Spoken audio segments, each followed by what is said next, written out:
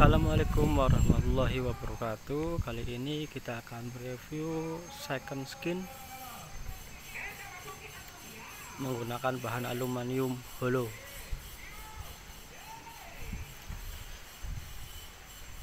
Ini holo aluminium ukuran 4 kali 4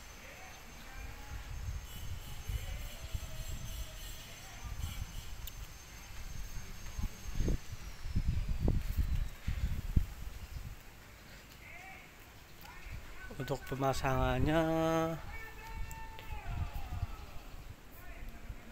bagian bawah di silen. Kemudian untuk pengaitnya antara yang vertikal dengan horizontal itu bagian bawahnya. Kita pasang menggunakan ripet